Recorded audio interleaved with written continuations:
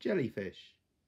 You're just composed of jelly with a weird transparent belly, all blubbery and blobby, and your head looks like your body. You sting and spit your poison, though I still think that you're awesome.